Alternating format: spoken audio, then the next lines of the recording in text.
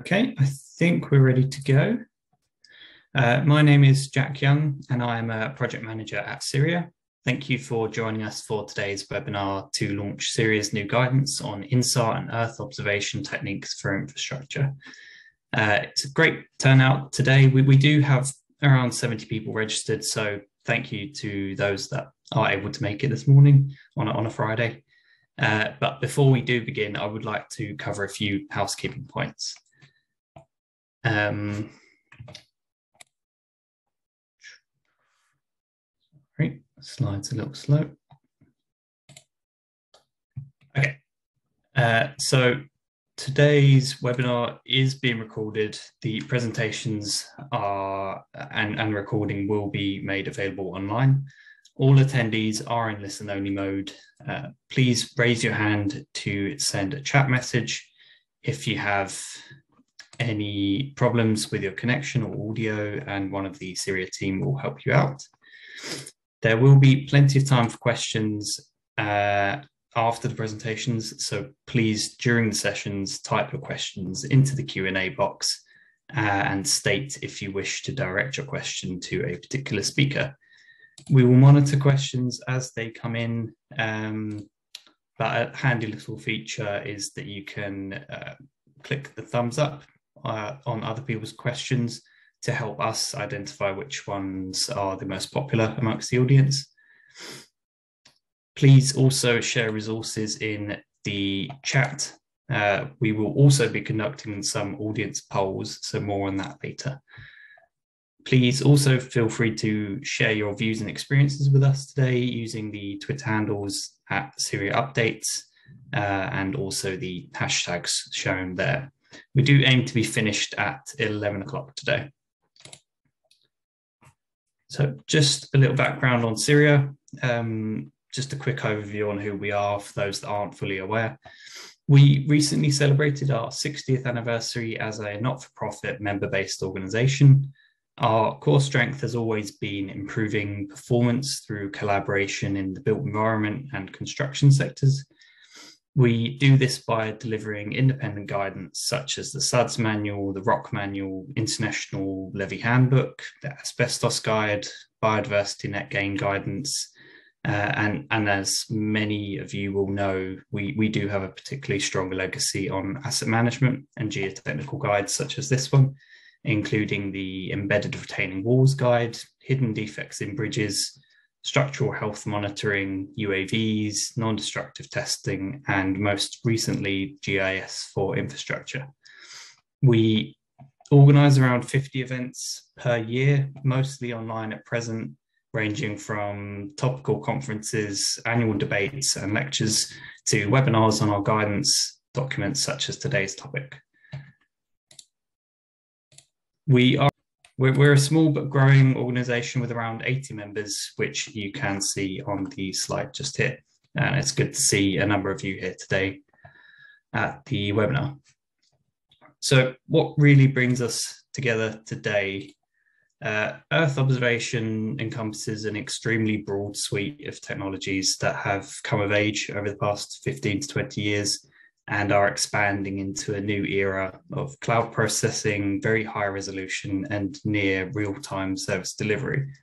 Uh, technological improvements have brought spaceborne EO data products to the point where their spatial and temporal resolutions are of immediate relevance and benefit to the infrastructure community. Uh, infrastructure asset stakeholders can now make use of the globally available cost-effective spaceborne solutions to address their need to map, measure, uh, and monitor multi-scale, rapidly changing and spatially complex assets of all kinds.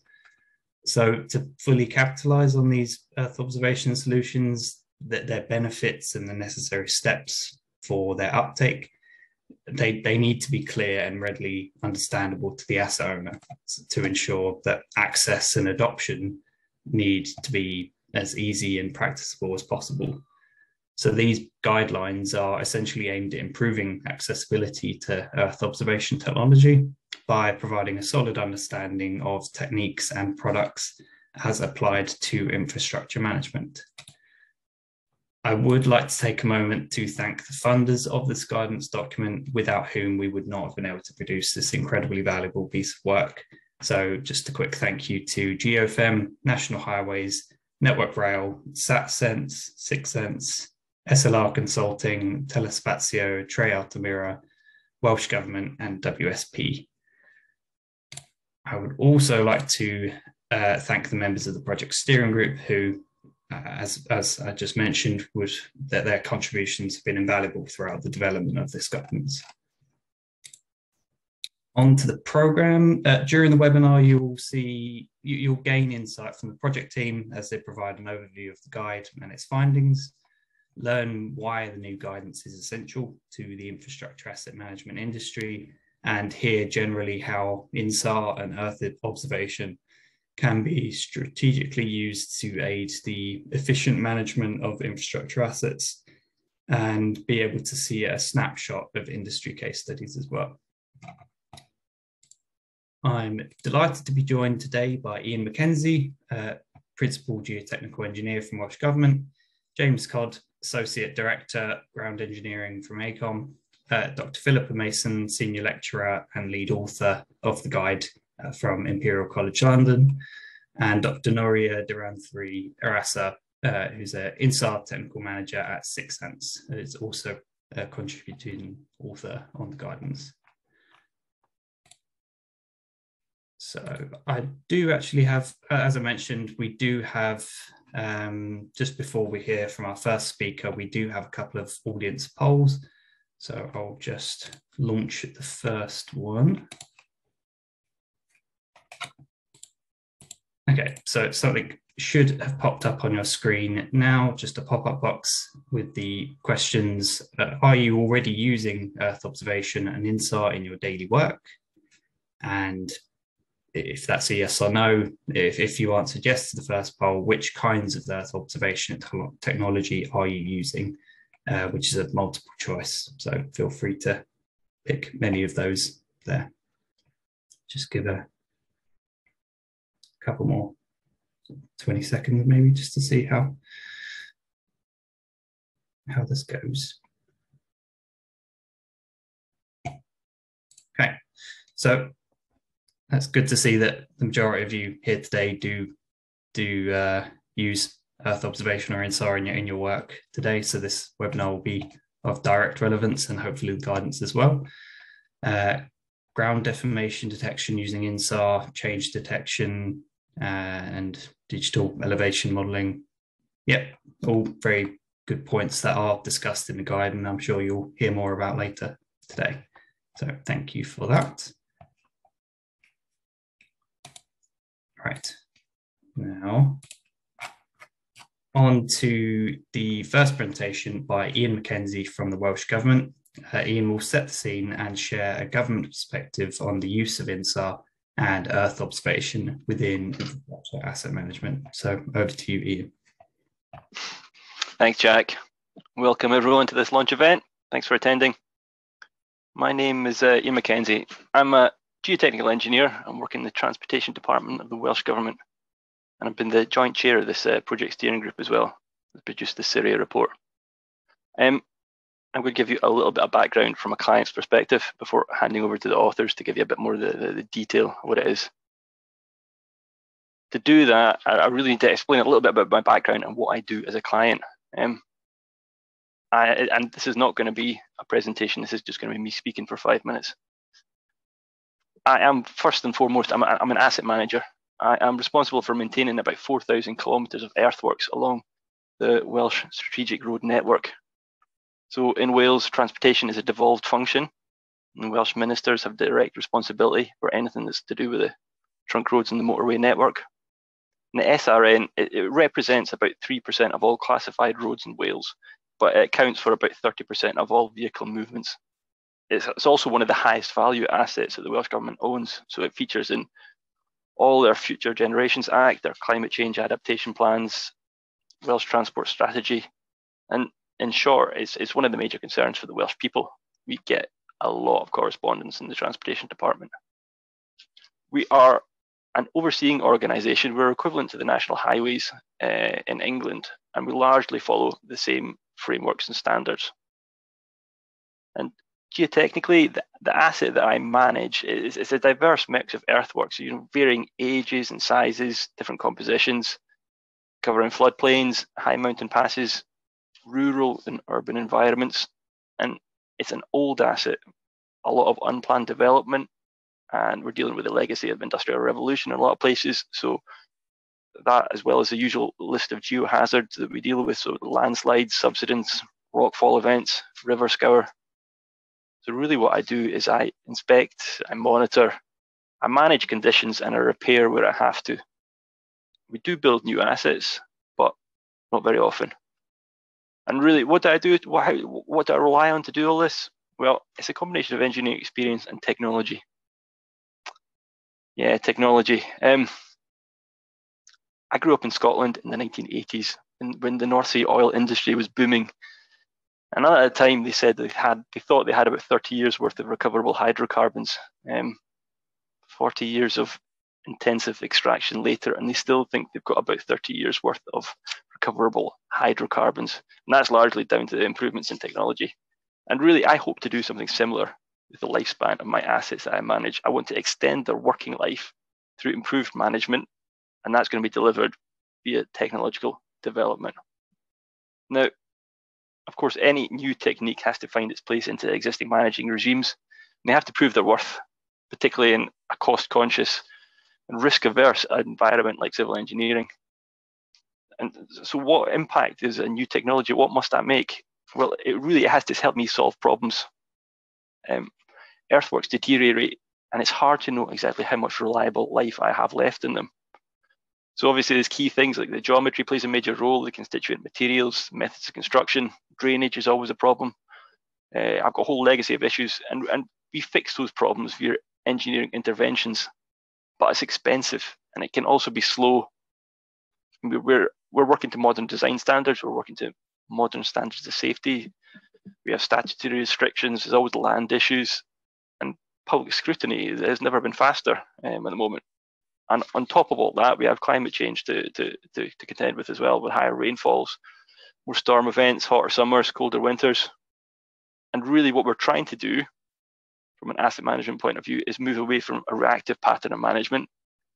But that means the timing of any intervention is absolutely crucial. And to do that, I need the best possible data. And that's definitely where INSAR and Earth observation fits into it one of the things I've learned from being involved in the CIRIA report is just you know what what an extensive mature space industry is actually out there, but I'm not sure exactly what impact they've had on engineering in the UK. I mean, I obviously work with an awful lot of uh, highways engineers and consultancy, and, and anecdotally, I think there's a very high level of awareness of INSAR, probably a fairly limited experience, and generally, I would say a fairly shallow understanding. That's been my experience there's a lot of suspicion about cost. Um, there's a lot of suspicion about effectiveness, and, and possibly in the past some overselling. Um, I read a lot of reports about managing earthworks, and there's always a recommendation at the end that something like earth observation should be considered. But I sometimes feel that people put things like that in as a stock response, not really understanding what, what they're suggesting. I very much hope that this report will shift that understanding in, in the UK geotechnical industry certainly looking back through this report, you know, for this, you know, I, I'm I'm really pleased about the amount of focus it has on infrastructure and asset management, and not just geotechnical asset management. And, and really, what it's trying to do, or, what it does, is it provides that independent, practical instruction, and it's not full of jargon, which I was quite pleased about. And really, you know, the, like the final sign of effectiveness, I would say, is is that about three years ago when I started my involvement in this project, I wasn't using any INSAR techniques at all in my management strategy. And I, I now have two quite large long-term problems on the, the Welsh road network that INSAR is playing a central role. So I've got quite a large relic landslide where the risk of reactivation is being actively managed by a strategy based on Earth observation. And I've also got a long-term subsidence site where uh, back analysis, you know, time series INSAR has, has really changed our understanding of underlying causes and therefore what solutions we'll, we'll, we'll go for. And I wouldn't necessarily be on this path uh, without insights from the PSG. So thanks to everyone that's been involved with it so far. And I think I'm going to leave it there and I might pass over to the authors who will give you a lot more detail.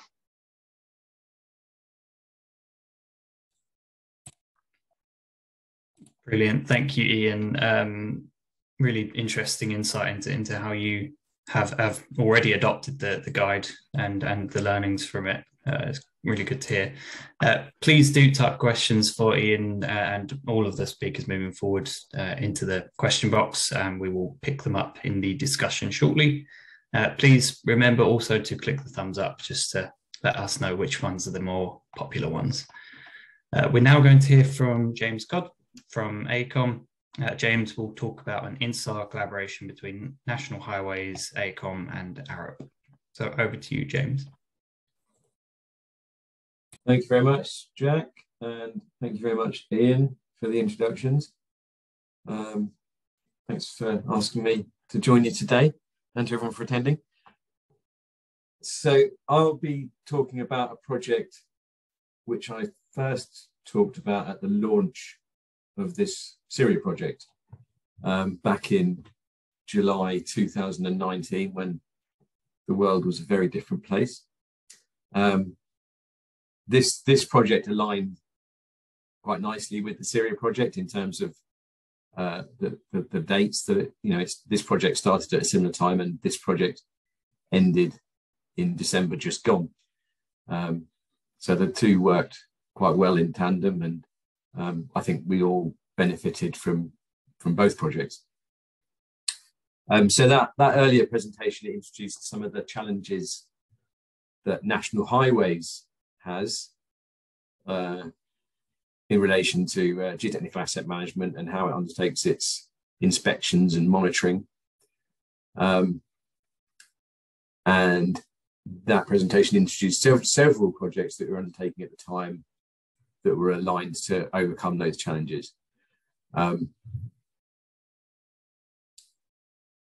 so, yeah, at that time I was National Highways Program Leader, um, and I, I, only left National Highways at the end of last year, uh, and this this was actually one of the projects that I wanted to finish up before moving over to AECOM in, in January. Um, so yeah, this is a national highways project delivered by Arup and AECOM.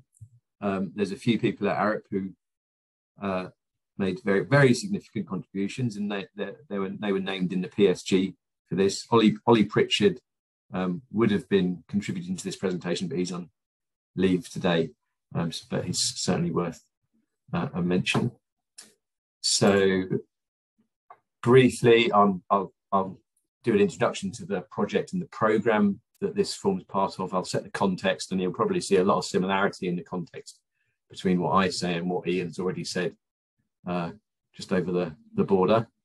Um, then I'll summarize some of the site trials that we did and some of the EO techniques that we used in those trials. And then I'll finalize with um, a summary of what the project delivered. Right, so, so this project, uh, geotechnical asset improvement, remote inspection using Earth observation techniques formed uh, part of a larger program of works, uh, which is outlined on the right. This is National Highways Geotechnical Climate Change Adaptation Program, which is overseen by Arup and AECOM, but involves lots of other parties. Some are some of who I've seen in the audience today. Um, so we've got MOTSA involved with that. We've got uh, TRL and Coffey and Winter Associates contributing. Um, over on the left is the resilience program, which preceded the climate change adaptation program, but that included several uh, remote survey tasks that fed into this one. Um, so those, yeah, there's a few of those on the left they they those sort of focused on more near surface survey techniques um, and they resulted in various guidance um, and, and left Earth observation as area of interest, which is where this, this project picked up. Uh, a lot of those reports are, are available on, on GDMS for those that have access. Um, so the aim of this project was really to better understand Earth observation and INSAR, uh, demystify some of the uh, some of the aspects that Ian introduced, and and get the two, the geotechnical industry and the INSAR industry talking in a language they could both both understand. Um, okay, so I'll just run through some of those challenges, and this is where you'll see the similarities with what Ian had to say. I thought I thought it was interesting to hear from Ian some of the statistics that I'm used to hearing from an English perspective. Um, so that, that was quite good. So yeah, the challenges that National Highways faces are outlined on the top right. We've got uh, the headline three challenges are climate climate change, um, and a number of temperature and weather related uh, factors in there as well. The fact that many of the geotechnical assets on the strategic road network are aging. Many were built in the 60s and 70s uh, with a design life that was anticipated to be about 60 years. So we're approaching that, that intended design life now and looking at ways to extend them. Uh, and that final challenge is, is is demand. Um, now, these challenges have come to the top of the list of national highways priorities in the last five or 10 years. Over a time that we've seen uh, the network modified quite a bit to accommodate extra traffic. So we've seen more, more lanes go in, we've seen um, more special geotechnical measures go in to steepen slopes and um, support other highway assets, and that's made the highway environment quite hostile for geotechnical inspectors. So we've had to look at other ways of um, inspecting the network because we've it's it's it's meant we've had to bring in traffic management, which comes at quite a cost and cause quite a disruption for road users. So we need to reduce that. Um, so yeah, Earth observations it's something that's been used in other geoscience industries quite successfully. Um, and I think that as, as Ian said, the barriers, a lot of it was in communication. So this project was about breaking those barriers down, getting everyone talking, getting everyone understanding the, the issues, talking a similar language. And that, that sort of, you know, that goes back to understanding what's, what is a cutting, what is an embankment, uh, and, you know, what satellites are up there, what sensors are on those satellites, what, what, what can they actually do. So I will go straight into the, the trials. There were, I think we had 10, 10 or 11 trials. Um, and we engaged with, I think, seven or eight different suppliers, seven or eight different INSAR suppliers providing different sorts of data. Uh, we ended up taking five of those suppliers into the trials. Um, there were sort of various various constraints that meant others didn't come in, and some of that was cost, some of that was confidence, um, some of it was contractual. Um, so yeah, the five the five that we we brought forward were they offered a range, a range of different techniques. Uh, and it's probably worth adding that although we had five suppliers, not every supplier provided data for every site. So some, some knew they could meet the challenges on some sites, some were less confident, uh, some were some were very open, provided data for every site to show where it would work and also where, it, where it wouldn't work. Uh, so I've actually lost the slide here. Uh, so the first, I, am going to talk through that first slide. I'm not quite sure where it's gone. Oh, sorry. No, this is it. This is it. Okay, so the first, yeah, the first was a regional scale. I've labeled it area scale there for some reason, which threw me a little bit. Um, so the first region, the first regional scale that we looked at was focused on the north, the northeast, the northeast region. Um, so that covers a large, a large, very large area with with lots of different sorts of hazards and lots of areas of interest, lots of different defects. Um, so within that area, we've picked up uh, some particular areas of interest. There's the uh, the A628, which is in the uh, Peak District, I think, between Sheffield and Manchester, uh, where the where the road crosses uh, um, a lot of peak moorland. Now, we were given a warning with the data that said the observations in peat can be quite variable. Um, and they, they were quite open and said that they wouldn't recommend the use of INSAR for measuring ground movement in peat. And that was attributed to the vegetation and the impact of vegetation on SAR coherence. I suspect it's probably something to do with the, the way that the vegetation in the ground becomes saturated and dries out quite quite quickly. Um, and you know, we could see that in the data. We could see that change, and you know, we could see why caution's needed in in P areas. Uh, so another area is the A1 Morpeth bypass, which is some of the some of the oldest earthworks in the country and quite a, quite a few defects relating to slope stability. Uh, and that is the site that's shown on the right there.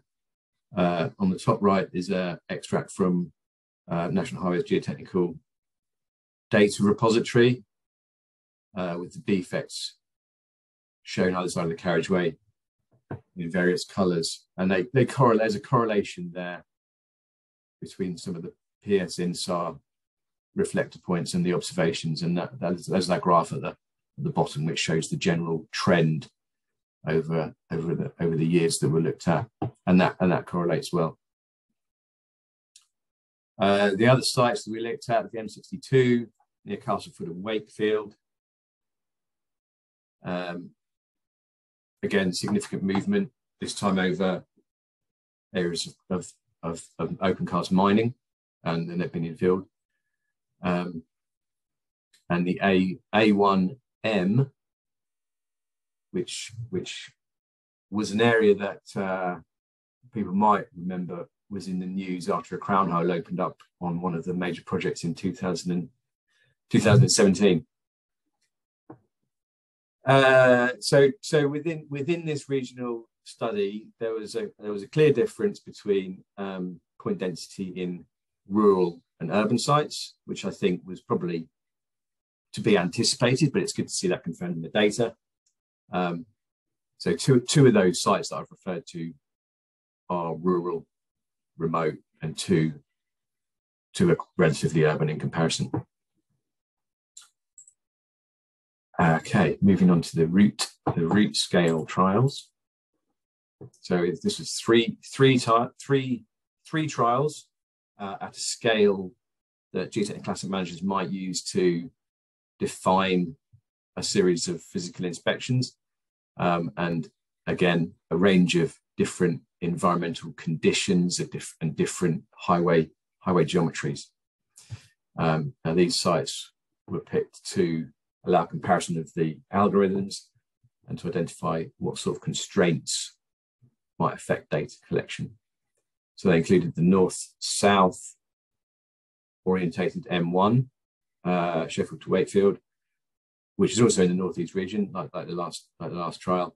Uh, several steep aging slopes dating back to the early 60s, and several defects associated with coal mining.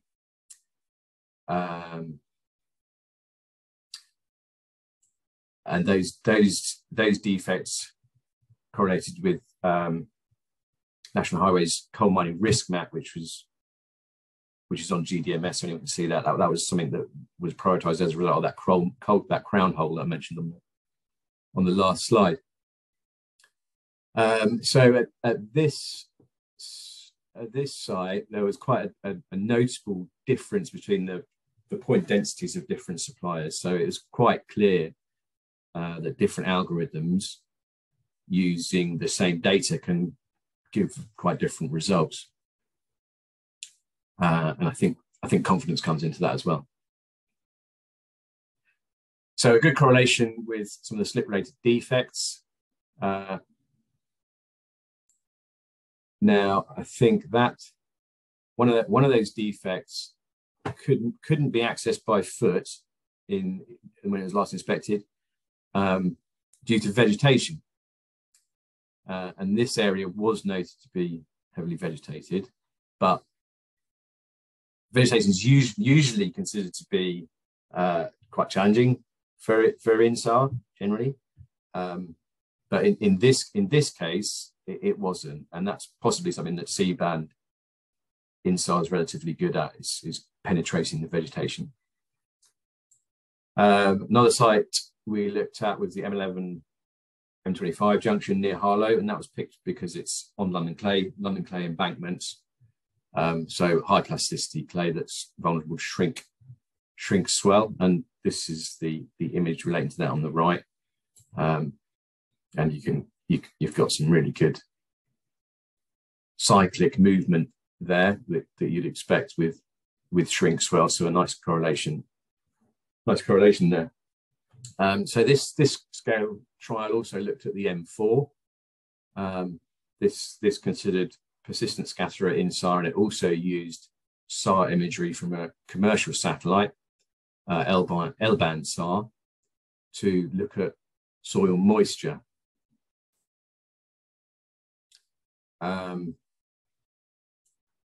now, this section of the M4 is noted to have uh, several drainage defects. So, you know, it was a good test on, on how, how useful that L-band SAR might be. Um, and there was, there was a lot of useful correlation from that. Um, it's probably worth noting that that assessment went beyond the algorithms and introduced some weighted failure susceptibility models. Uh, and that combined soil and moisture with slope angles to identify areas of risk. Uh, and I think there was some lessons learned on that, um, principally around the importance of data quality and data cleansing.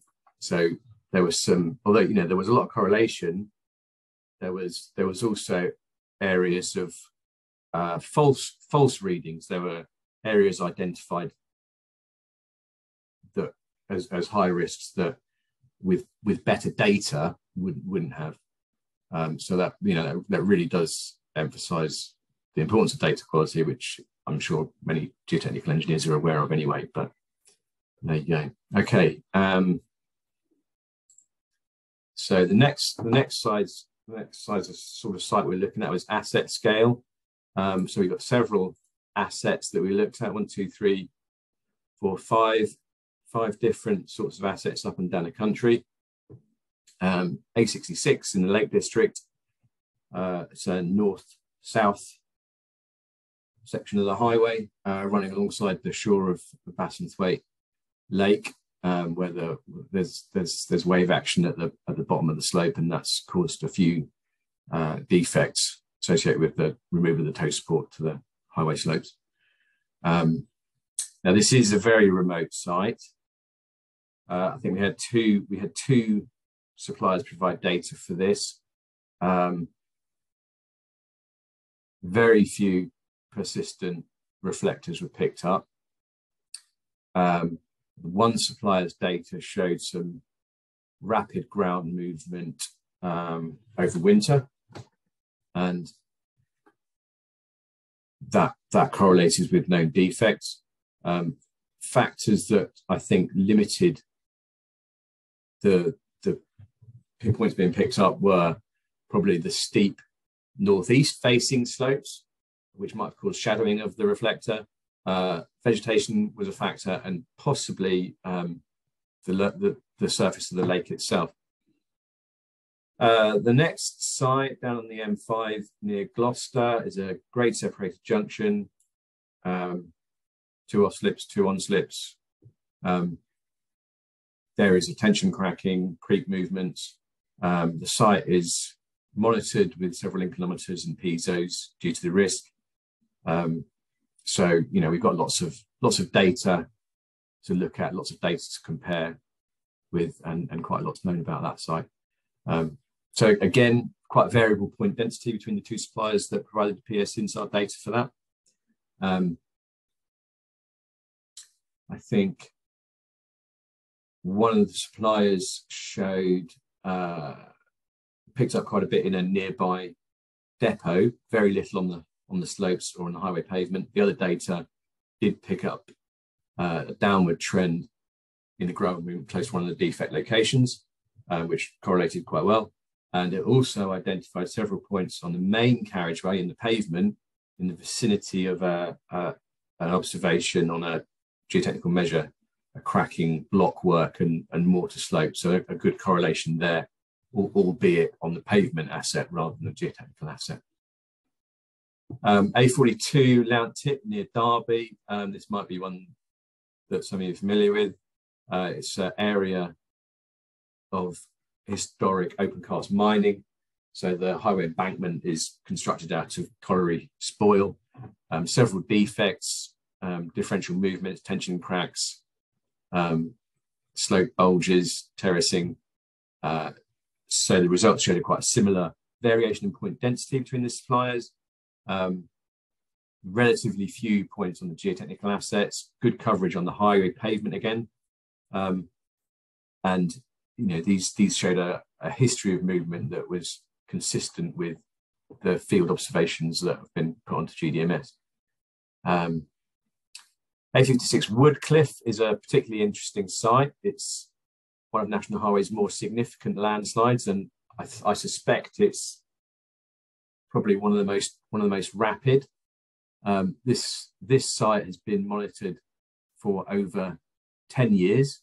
And I think between 2011 and 2015, there was two, two and a half meters of movement um, measured using surface pegs. So again, another, another site where we've got lots of data from um, historical monitoring and previous inspections. So lots, lots to compare with.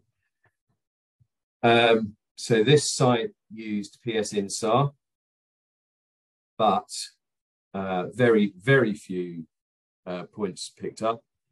Um, it also used D-INSAR, distributed INSAR, and these are the images on the right-hand side. Um, so this is quite a different technique, which is explained in the, the CIRIA guide.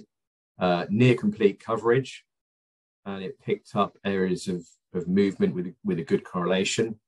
Um, the, the image in the middle is the, the D-INSAR extract. Uh, the area, the, the image at the bottom is um, ground movement from the in situ monitoring. So it, it's not a direct, there's not a direct correlation, but there's general trends of movement that were picked up. Um, now, I think the magnitudes were different as well. So I think the magnitude of movement was shown to be lower in the InSAR data than it was in the monitoring data. But general can confirmed the sort of you know the general trends um, and showed where where it can fit into it, where INSAR can fit into an overall sort of strategy for inspections and monitoring. And then the final the final asset scale site on the A627 uh, east-west facing slopes, defects including a, a, a class 1A uh, major defect, conical depression and minor step defects, scarps, areas of slipping, bulging. Again, notable difference in PS INSAR point density between different suppliers, going back to the uh, the algorithms and the confidence they've got in in those algorithms and how they understand the the challenges we've got. Um, this this site I think identified a couple of quite sharp movements in the in the vicinity of the major defect. Um, and then I think that was it. What was that 20, 2020? then at the end of 2020, that that persistent scatterer, uh, that, that, persistent point disappeared. So it might it might have gone. It was it was lost and it was couldn't reliably be tracked. Um, and, and that's that's useful information itself. Uh, okay, so that's that's the asset scale trials. Um, so just a few a few others to cover. Um, We did a scheme trial on the A27 east of Lewes, between Lewes and Eastbourne, where there's quite a lot of construction work going on for a, a, a major project.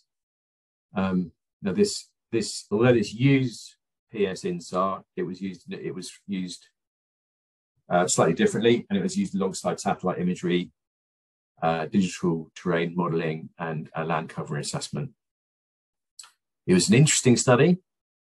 You know, it's good to see construction changing, construction happening in progress over, over the year. Um, the, the analysis of the data was quite time consuming. And at the end, it, it didn't really add any significant benefits that uh, weren't already understood through, through the construction work going on the ground. It might have an application in the future when construction becomes more automated. So there's, there's technology there to watch. Um, it also the site also includes quite a significant landslide at Selmeston, um, and the, the route of the the the new there's a new cycle route going in at that site, and it's the cycle route is going to avoid the landslide.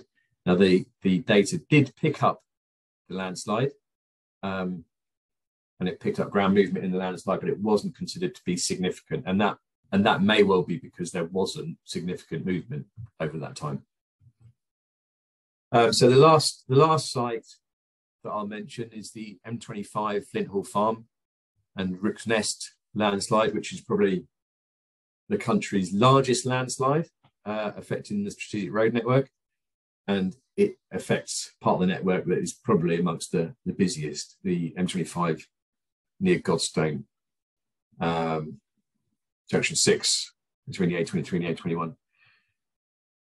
Uh, so this is this is on a DBFO, uh, which is contracted out to Connect Plus. So it, it, took a bit of time to get things to happen at this site, and it was it was delayed because of COVID. But um, thanks to Connect Plus, Atkins, as well, and also Imperial.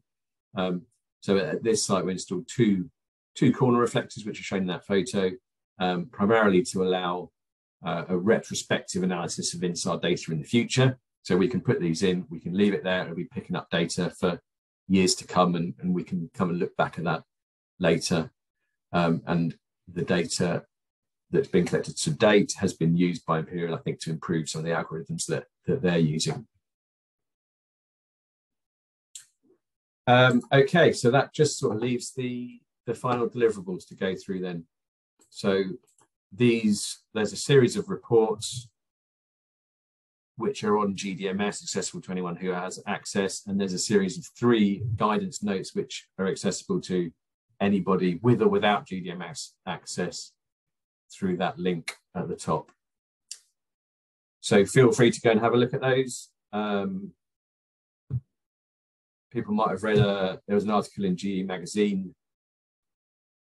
last year, which Ollie wrote, um, and we'll be talking about this project at the Resilience Conference in Cardiff next month. Um, and there's a few case studies in the CIRIA Guide. That's it from me. Thank, thank you very much for listening. Brilliant. Thank you, James. Uh, really interesting to see some of the case studies and, and, and how you've applied that knowledge and, and seeing all the data on, on the graphs is really interesting as well. Um, we are now actually going to hear from the lead authors, uh, Dr. Philippa Mason from Imperial College London and uh, Núria Devanthéry Rasa from Sixense. They will take us through the guidance, uh, give us an introduction to the document, its contents, and how to use it, while providing a sneak peek at some of the case studies discussed in the guide. So over to you, Philippa. Brilliant. Thank you very much. Uh, can you can you hear? Am I am I loud and clear? Yes, great. Fantastic. Well, um, firstly, um, let me just try and move my slide on. Mm. Here we go. Wonderful. Thank you. Um, thank you to CIRIA for the invitation. Thank you all for attending.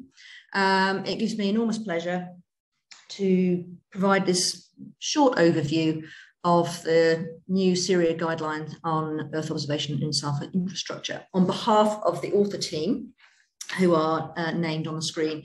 Um, so myself and, and Núria are, are, are present here to present um, and uh, answer any questions you have at the end.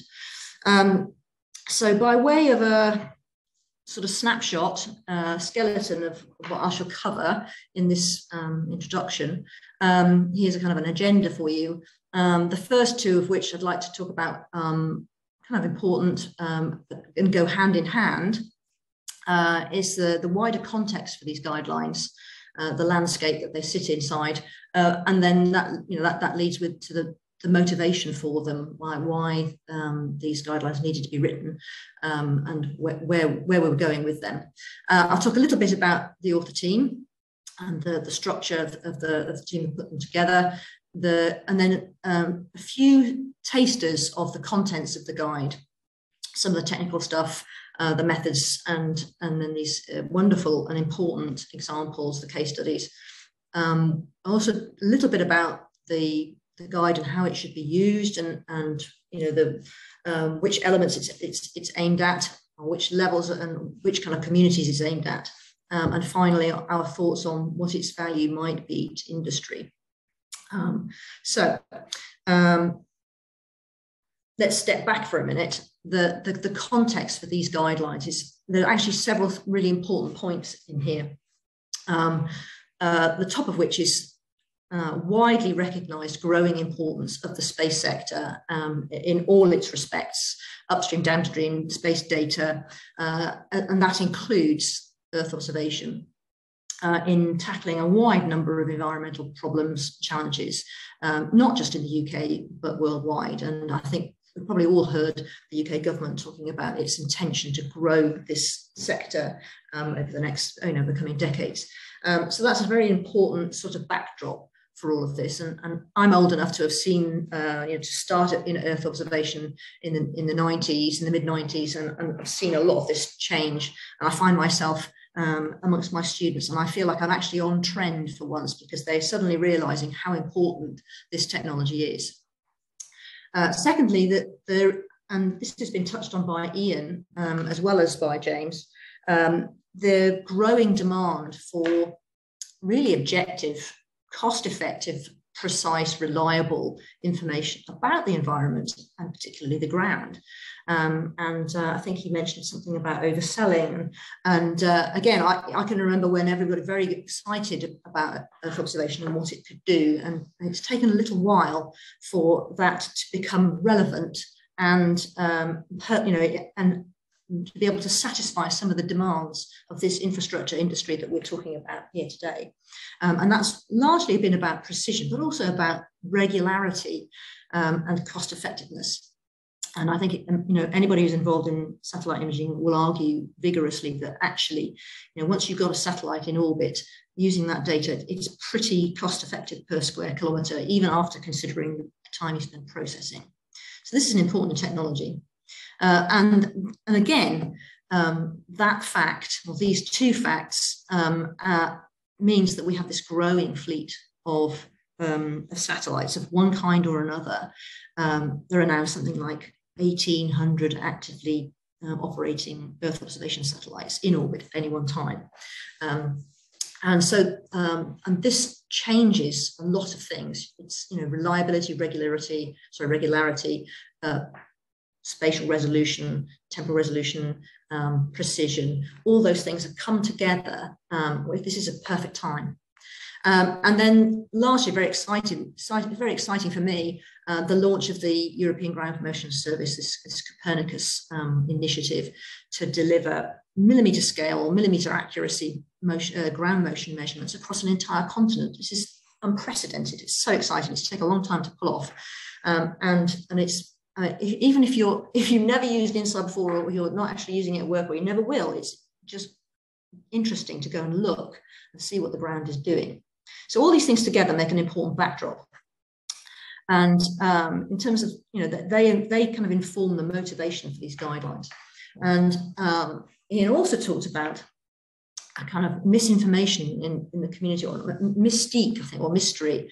Um, we all uh, recognize that there was a, a, great need to better inform potential communities um, that might use this technology. And um, I think it's been widely talked about that the real potential of Earth observation it's not been fully embraced. It's um, not reaching, you know, everybody who could and should be using it. So we wanted to try and somehow help that process. Um, and user concern is a big part of that. Trustworthiness, maturity of the technology, all these things needed to be dealt with somehow. Uh, so that's, you know, th those are two big motivations for writing it. Um, and so the objectives for the contents um, were, we all, we, we, discussed this at great length um, in our um, early meetings. Um, we felt as, te as, technical people, all of us wanted to present the state of the art in the Earth observation across all of it. We talked great length about what should and shouldn't be in the guidelines. I'll touch on that a little bit later. Um, and that there should be a special focus on, on INSAR, interferometric synthetic aperture radar um, uh, because it, that is one of the things which has become incredibly mature uh, and uh, is, has now arrived um, at the kind of detail that is necessary for civil engineering and infrastructure. So that has to have a special focus in these guidelines. So we talk about how it works, all of the techniques from the basic physical principles right the way through to the um, every kind of method you can think of. Um, but there's also some high level guidance, uh, and I'll talk a little bit about that. Um, there are um, copious tables, if you like, uh, you know, individual documents to describe the methods, and I'll talk about that too, um, with pointers to you know, further, more detailed references anybody who wants it. Um, we stress that this is not a textbook. Um, it is designed to bridge the gap between um, research and uh, technical knowledge and the user community that needs to access this information and make the most of it. Uh, and then that leads directly onto um, the most wonderful and unique part about this, which is the industrial case studies, these excellent examples um, of how all these different techniques have been used, um, some of which James has just been describing to you. Uh, and the last section in the guide is a comment on the, the maturity of the techniques, where we think the industry is going, um, and the need for, for international standards, because there aren't many. So our target audience is, I guess, I can't see you out there, but you guys asset owners, engineers, uh, decision makers, um, planning projects, people who've got budgets to, to, to, to plan out, to flesh out, um, as well as the stakeholders who are, have any, anything in, any, involved in any way in um, asset management. That's, so that's the scope. So let's talk a little bit about the team. Um, we, I cannot quite remember whether Sixense approached us or we approached them. It, doesn't really matter. It was a marriage made in heaven. Um, and we realized very quickly that we had lots of complementarity and um, a lot of skills that, we, that were pertinent for the writing of these guidelines. And we put together a, a team, a little consortium, and we were lucky enough uh, to convince CIRIA to, to give us the, the job to write these guidelines. And um, we didn't do them alone, as you can see on the right this uh, the group together, our consortium, alongside the the, the, um, the project steering group, um, which again sort of spans um, the the users, the, the, the, assets managers, the engineers, all the way through to the data providers um, and government. Uh, so we between us, consortium and the steering group, we cover all all sorts of uh, aspects um, of the work and the, the technology that we're, we're talking about. Um, the Knowledge Transfer Network also were part of the team. Um, they helped us to get in touch with, with people to provide some of the case studies. Um, their role is to, again, to be a link between you know, the practice um, or the research and the, and the technology and then the people who might use it. So that's, that's how it all was structured. Um, and their advice, the, the steering group um, and, and, their advice were, was invaluable. Um, for ourselves, for Sixense and, and, Imperial College, we quickly realized that we actually had a, a huge number of relevant connections um, uh, all over the world and in all different sort of uh, uh, you know spheres of um, the infrastructure industry. Um, so Sixense client base, uh, but also um, our collaborators were the wonderful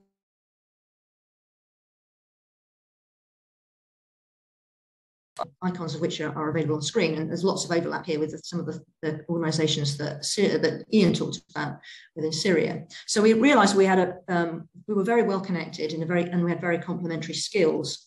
Um, um, which are kind of reflected a bit here um, across the whole of Earth observation. So Sixense has a, an INSAR atlas, um, so it has this wonderful data portal, it has a processing chain, um, and, um, and it has all, all, kinds of other initiatives about resilience to climate change. So those two things are really important together. They also do other kinds of mapping. Um, so you know, uh, these guidelines are about optical imaging techniques as well as INSAR. And so they have a, a mapping team that deals with um, all of those things. Uh, and here at Imperial, um, we, you know, Imperial stands for itself, it's a big university, um, and our Earth observation part of it is we're tiny minnows actually within the college, but um, we kind of punch above our weight.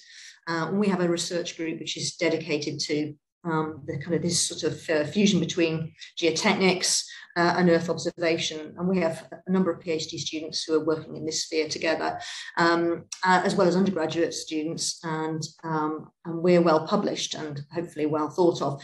Um, and we now have a, a, newly established Earth observation network uh, across college, which is designed to be cross-disciplinary um, atmospheres, uh, vegetation, life sciences, but there's also the earth sciences where, where I sit and I'm lucky enough to be co-leader of that. So um, as a team, we bring all kinds of very complementary um, expertise, but also um, uh, experience and, and connections. So we felt we looked quite good on paper, and here we are.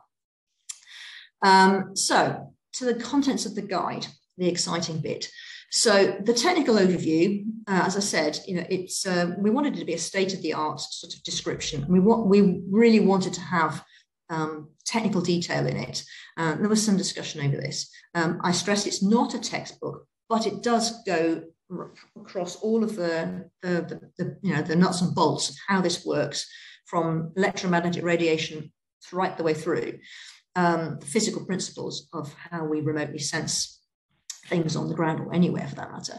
Um, so we also go through the sensors that are, are, pertinent in different parts of the, of the technological landscape um, and the data sets and what those, what those data mean, the raw data, um, and all those different elements of the Earth observation landscape as we describe it.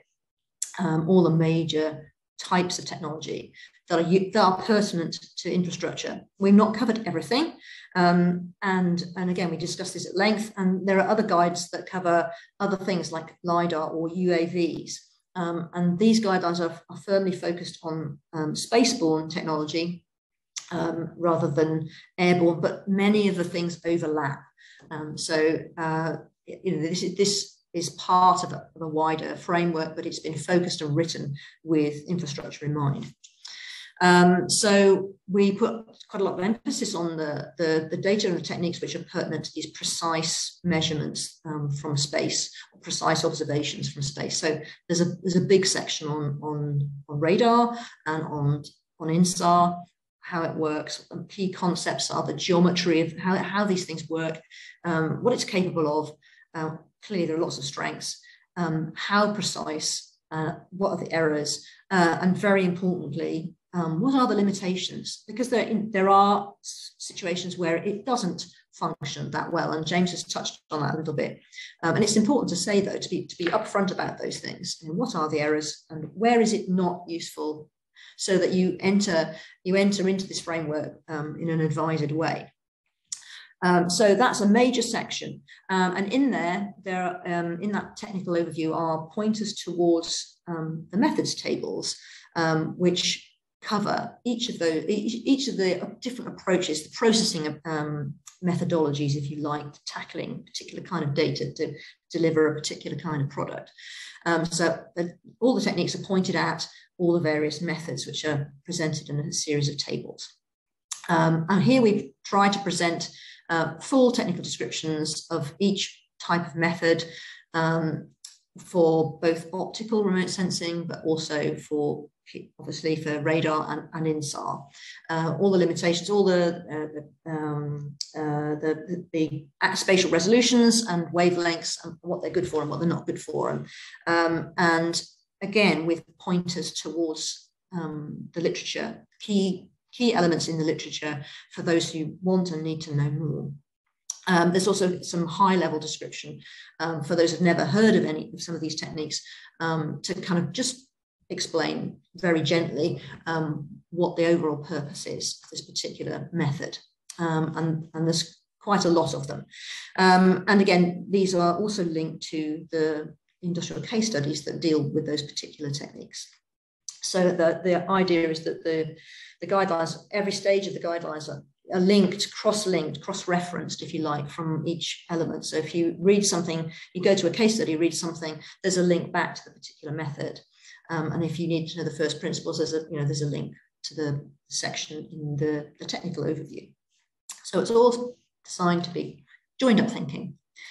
Um, so then onto the case studies, which is the, the wonderful, unique and elegant part about the, the guidelines. And um, so a lot were considered, and we discussed whether they should be UK only or um, what should they, you know, how, what should they be focused on, what should we do? And then we decided they should all be industrial, um, all real projects, and some of them are that many of them are in the UK, but many are also in other countries. Um, we can all learn from each other after all. So this first one on the screen is actually from six, one of Sixense's projects, the beloved Elizabeth line, very close to my heart, transformed my commuting life. Um, and this project was in, in, in, monitoring the progress of the, of the tunnel construction. Um, and uh, we've all seen um, beautiful images. There's one of which is, is actually behind me. Um, and here they're using time series InSAR um, from a high resolution SAR satellite um, monitored every day, every 11 days. Um, and um, in, in the, each of the case study documents, the information um, goes from you know, the title and the, what the overall objectives of the project were. And it deals with um, briefly the, the, service provider uh, in question, in this case, Sixense, um, the data set used, the, the processing methodology used, um, and then some selected really um, key illustrations to, to, to show um, what the results looked like, what they consisted of. Um, then there's some lessons learned at the bottom, some advantages, some limitations, and some more references where, where, where applicable. So you see illustrations exactly like this. We have a map and, a, and then a result showing these persistent scatterer uh, measurement points on the ground with a color scale, importantly, um, showing you what's moving, what's not. So, um, and I think all of the, the case studies follow a similar, um, same format, uh, but with different techniques. So the second example I have here is an optic uh, is, is uh, using an opt optical imagery approach um, in Cyprus. This is a, uh, about the geomorphology. So here is the integration of um, very high resolution optical imaging with digital elevation models for terrain analysis um, and in situ data and, and field observations. So a slightly different project. Um, and this is about slope stability. Um, and here, you know, some of the, the, examples. So this, you can see this is a, although this is a rural example, uh, it has a major impact on, on the roads.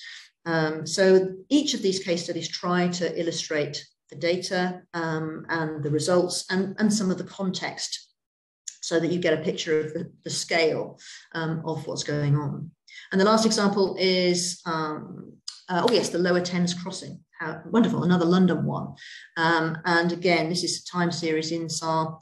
Here, this, I, I, chose this because it's, it, it illustrates what's extraordinary um, about um, our Earth observation capabilities. Uh, for SAR data, we have an archive which is nearly 30 years old, uh, 30 years long. In fact, it is 30 years long, it's 2023, yeah. Uh, 30 years uh, in length, just about. Um, and um, for optical data, the archive is 40 years long um, from Landsat. So we have this ability to be able to uh, bench, benchmark them or baseline and look backwards retrospectively. And that's one of the great powers of satellite-borne Earth observation. So this study, you can see, is 1992 to 2019, it's a long time series, various levels of spatial detail from different SAR data sets. Um, and the, the, comparison thereof to just to get a, a, a proper flavour of what the ground is doing um, in this area in, in East London.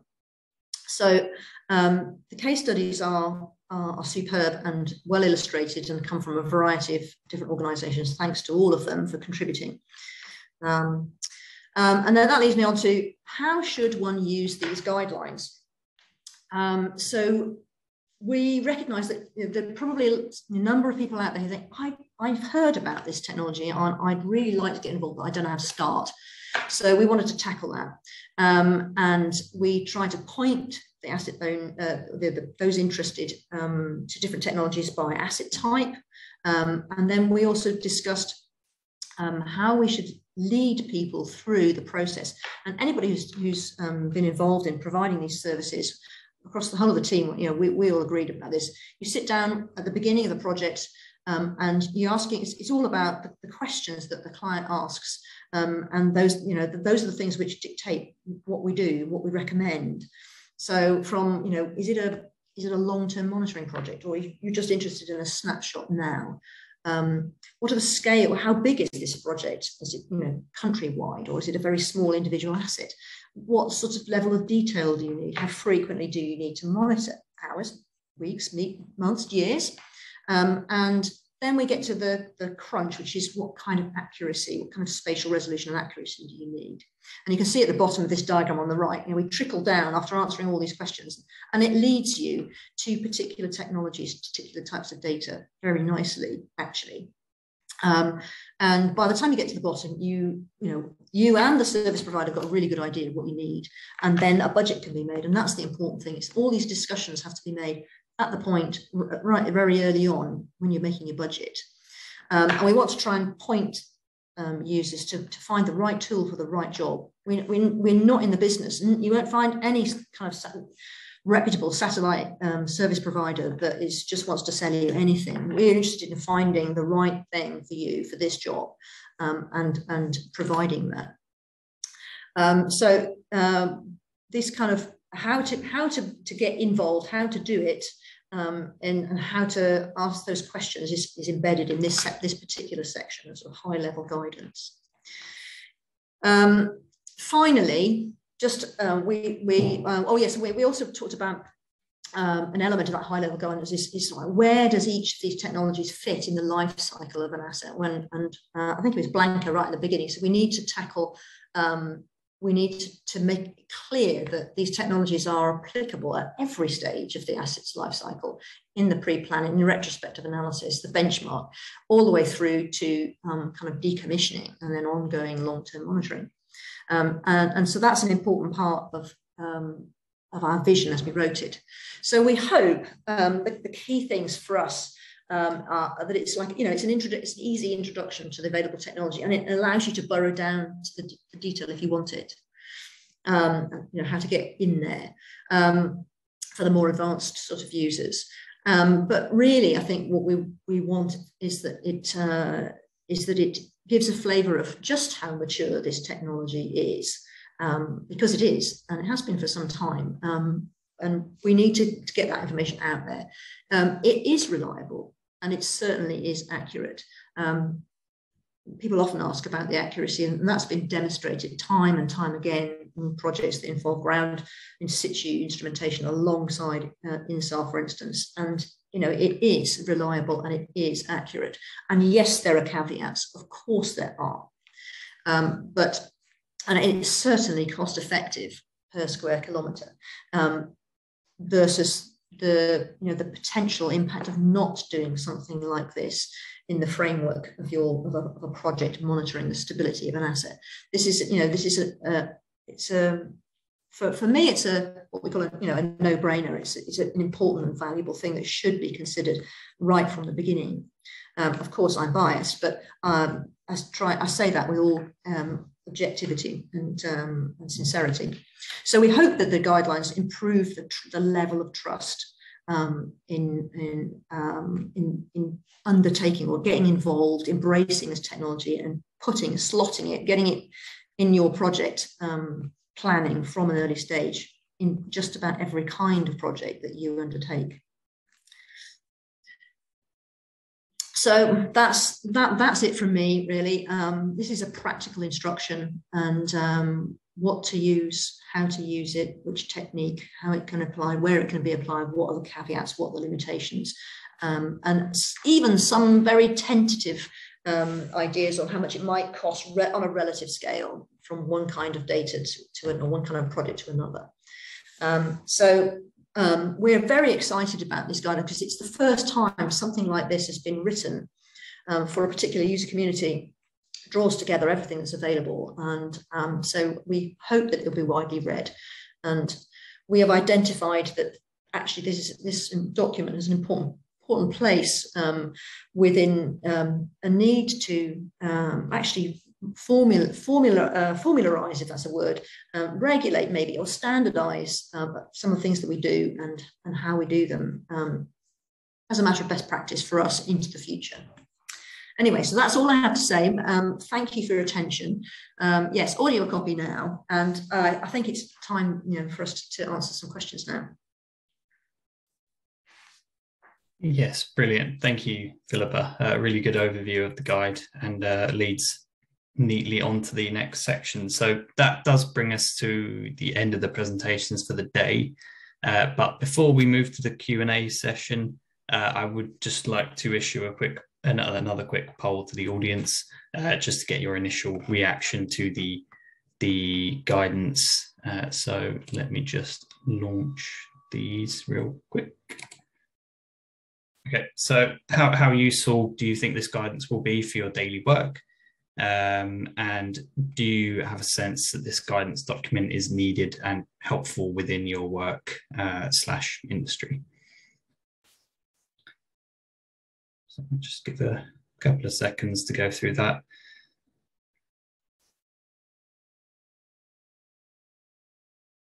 Good to see there's on my end, there's no nose yet. So that's that's a really good answer. Okay, seems to have settled now. Um, so most said very useful, useful, and everyone that answered said that it will uh, is this guidance is needed and helpful within their industry. So really, really good, good pitch, Philippa. Okay, so now on to the Q&A session. Uh, like I said before, if you do have any questions, please put them in the uh, Q&A box now. We do have a few to go through uh, and I, I, have a few questions of my own and I'm sure some of the other panelists do as well. So if I could just quickly invite all of these speakers to put their cameras on and unmute and we will go through some of the questions. Iain, I know we've agreed to sort of chair this uh, jointly, um, and and we do just have sort of ten minutes to go through some of the questions. So, would you like to kick off with one of the uh, Q and A questions? Yeah, sure. Thanks. Okay. Uh, first question was from uh, Francis McCowan he was saying one of the satellite imagery uh, considered was to look at potential scour risks for bridges. And uh, the accuracy and the lack of any estimate of costs, even ballpark, left it difficult to justify pursuing. So, is there any thoughts on that from, from, from the panel then? So, somebody trying to use satellite imagery to look at potential scour risk for bridges, struggling with accuracy and the lack of yeah. estimated costs. I'm not surprised. Anything down the side of a bridge is difficult for um, satellite. Um, that's uh, and, if anybody's got anything particular to say to that, I think that's that's a pretty challenging target. Um, uh, is it at the water level? You know, below the water level? Uh, yeah, that's going to be hard. Um, possibly a case for a drone. Anybody else like to say anything about that? I think Francis, that's a that's a, a tough one. No, I, I, think you're absolutely right, Philippa. Um, sorts of uh, you know, I'm I'm thinking of the issue that we had with the very very steep slopes at the mm. on the A66, which created shadowing for yeah. a collision a is a problem. Yeah. Facing satellite, and you're going to have similar problems on the yeah on any structure. Um, yes. I I am thinking you're going, you know, you're going to, you're going to, if you're using InSAR, you're going to get points on the bridge um, and on the bank if it's not too vegetated. Yeah. Depending on the orientation of the bridge and where those footings and the scours are, you, yeah, you, you, could be occluded. And um, I think um, a more close range technique um, mm. would be a better way. I think. Yeah, I, I think something like lidar would probably be yeah. better. Oh yeah, absolutely. airborne yeah. lidar. Yeah. Hmm.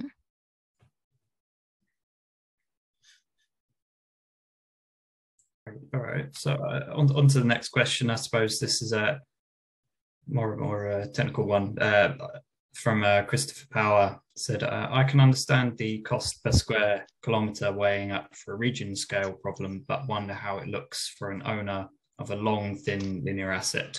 Uh, so for a transportation network, for example, just would be interested in the panel's views on that. Núria. Uh, yes, uh, here just me just let me think a little bit about it. Uh, yeah, well, there are many examples of uh, linear assets. For instance, the HS2 uh, here in UK, know, that they are using Earth observation, especially InSAR, for the the design and the, the construction phases, and also planning already the post construction. So, well, about the cost per square kilometers. Uh, well, first of all, we need to differentiate, yeah, the, the optical images, for instance, and the SAR images that are not uh, sell for square kilometers, but mm-hmm. uh, the, the full image acquired, which is the price is different for different providers. They can even be free but then of course there is the the cost is difficult to estimate uh, generally because it depends on the provider it depends on the images used. So yeah. Mm, so about this the my recommendation is uh, well just to speak with mm, the provider or different provider and ask a proposal for for the the linear asset in, in question. No? But there are very interesting examples of these uh, mm. linear assets Many. done with, yeah, Earth observation. Yes, I should have said actually that the, the, the, case studies cover all different kinds of assets, railways, roads, uh, bridges, tunnels, um, you know, um, geomorphology, lands, landslides, and, and, urban areas. They, they, cover all sorts of things. So mm. the, if you want to know about um, practical examples for linear assets, there's there's a lot of them in, mm-hmm. in the mm-hmm. guidelines. Mm-hmm. It's probably worth adding that, that the costs of SAR imagery depend on whether you need to actually commission a satellite. It might be that, a, that an image is already available. So, so national highways have been engaged with a uh, L-band, L-band, yeah, L-band satellite provider, um, and they were initially very worried about the cost, but because they've been commissioned to take an image already, it's available to them at, at a low cost. Um, now, the costs of uh, C-band InSAR and L-band SAR are, are, very different as well. You know, a lot, a lot, some of the InSAR stuff will rely on Sentinel-1, which the data is freely available, or, or you know, others will rely on commercial satellites, which, which vary much more. Um, yeah, that's, that's, an important point actually. So, um, depending on the on the SAR data used, and, and as James said, there are some data sets which are globally um, and routinely collected every few days, um, like Sentinels, um, and they are free to use it, um, the raw data. But the commercial stuff, the high res, anything high resolution in Earth observation always has a cost attached to it. That's where the commercial uh, interest is, the commercial edge. Um, so, so for instruments like TerraSAR X, the, these are much higher resolution and much more applicable to, to you know detailed um, structures on the ground, urban areas. They have a cost, but importantly, they're not routinely collected. So as James says, they, there might be data already collected for an asset, but there might not. So that would have to be tasked. So there is a cost to the data. But these, you know, these these scenes of satellites, they're kind of tens of kilometers across, 60 kilometers across, or, or maybe a bit less for a high resolution one. So you actually get a lot of data for your money. And yes, you might need uh, hundreds of images over a, a time period. But um, and that that cost racks up, of course it does. But it's compared to the cost of a borehole, it, it, it's it's still a small cost. And then when you when that even when you put the processing time in, which is not inconsiderate for, for InSAR, um, per square kilometre, that's it's still a fraction, um, a very small fraction of your budget. I think in many cases, not all, I'm sure. Thanks. Um, there's a question from Stephen Deeble saying the title is InSAR and Earth observations. Are these different techniques? I was, I was going to add something to, onto that. I, I was going to ask myself, really, can you explain perhaps why InSAR got singled out as, as the technique mentioned in the title? Who'd like to answer yeah. this? Go on, Núria. Ah, yes. Okay. Well, uh, InSAR uh, is uh, into the Earth observation techniques, of course, but this guide uh, had a special focus in InSAR. Uh, so, so that's why uh, the title, well, we wanted to emphasize Earth observation in general and especially InSAR. Isn't it, uh, Philippa? Do you want? Yeah, to... yeah, it's, it, it's yeah, that's right. Yeah, we we, we discussed this at great length. Mm-hmm. Um, uh, Earth observation covers all of it. Yes, mm-hmm. but the the extra focus is because InSAR's because of InSAR's capability to deliver millimeter scale precision. Mm-hmm. Like you can't it, it, you can't get that any other way and that is something which is really pertinent to you guys you're you know to managing the state of assets what's moving what's not moving that we felt that that was really important. There was a discussion that we should just make the guidelines on InSAR, and that you know that had a that had some merit, but um, we decided to keep it broad as well.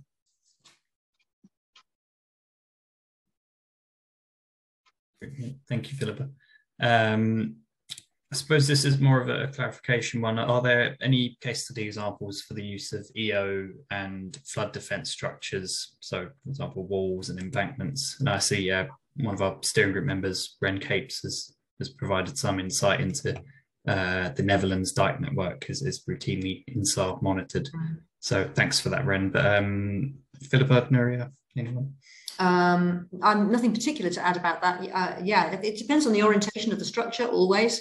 But yes, um, uh, we're looking at, at coastal um, monitoring with InSAR um, and seeing all kinds of fascinating things. Um, but yeah, depending on the orientation of the coast, you can see one or other mm-hmm. going on. Mm-hmm. Great, thank you. Yeah, mm-hmm. there's a question. I was more for Philippa. I think there's uh, about the decision-making flowchart that you came up. Oh yeah. And I was saying there are several routes that can be taken through the early questions, but they all seem to end up back at what level of precision or accuracy is required. Yes. Um, so presumably some of those questions have an influence in technology chosen. Is well, uh, is this yeah, how okay. the, guide is meant to be used? Is, is the end of that question? But, because that is a key question, right? Is the, the resolution, the detail, the accuracy. That is a key question. But there are there are many ways to sort of like they, they there are many technologies that provide high resolution and low resolution, and um, resolution isn't the only question, but you it has to go in. It goes into the mix, and so the flow leads you one way or another. So if you if you if you want long term monitoring and you want millimeter scale precision and you want um, in, um, uh, data every few days, you know, that's going to take you all the way to time or where, whichever side it is, time series InSAR, because there's nothing else that can give you all of those things together. But you still have to answer those early questions. That the, the, that flow diagram isn't intended to um, to give the impression that the early questions somehow get are forgotten or that they they all lead in the same direction. You might answer those questions and find that something else is, is needed. Like if if you need imagery every or data every hour, then there's no satellite imagery or technology that can do that. You have to go then, if you're, you know, you're going to need drone or air or airborne or what, some other technology. And okay, that that isn't represented on the diagram. There isn't a di- an arrow that leads you off to the side, but it's meant to, to capture the kind of conversations that you have with a client right at the beginning. We've all been there. Um, uh, that you, you have to answer those questions first in order to figure out if, if and what is the appropriate technology. And you always end up with a, a discussion at some point about the precision and the accuracy. Mm-hmm. Thank you. Um, I think now is a good time to wrap up the Q&A session, just in the interest of time.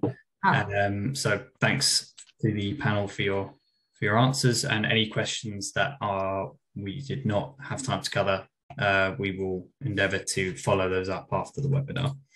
So just to summarise a few of the key messages from the day, uh, Iain McKenzie provided us with some context on the uh, InSAR and Earth observation scene from a government perspective um, on infrastructure asset management. James Cod then proceeded to give us insight into an interesting collaboration between National Highways, Arup, and AECOM using InSAR to showcase how clients, consultancies, and contractors can, can really work together in this space. And Philippa then gave us a, solid overview of new CIRIA guidance, demonstrating its place in industry and how it addresses some of the key challenges as well. Um, as I mentioned earlier, I would like to once again thank the project funders and steering group, uh, as well as the author team who have worked very long and hard on this together to bring us this incredibly useful guidance document. Uh, thanks to everyone who has joined us today. Uh, Iain, James, Philippa, and Núria, thank you for your valuable contributions today. Uh, we will circulate a link to speakers' presentations uh, after the webinar. And like I said, we'll endeavour to answer any questions not covered today. And if you think of anything else that you want to send to our speakers, please let us know. Uh, we are keen to hear about your experience today and would be grateful if you could complete the uh, online survey, which will be emailed to you shortly. So just really quickly on how to actually purchase a copy of the guide for yourself. If you head over to CIRIA's online bookshop, which is uh, www.ciria.org forward slash bookshop, you should be able to see the guidance available for purchase with reference of C805. Uh, we have a preferential offer for all of those who have attended today's webinar for £55 for CIRIA members and £110 for non-members, uh, but this runs until the 3rd of March and it reverts back to the original price. So simply complete and return the publication digest form that was circulated with the webinar joining instructions. Uh, we will circulate this form again in the post-event email shortly along with the survey. So with that, I would like to thank you for your time today and enjoy the rest of your day and have a great weekend. So, goodbye, everyone.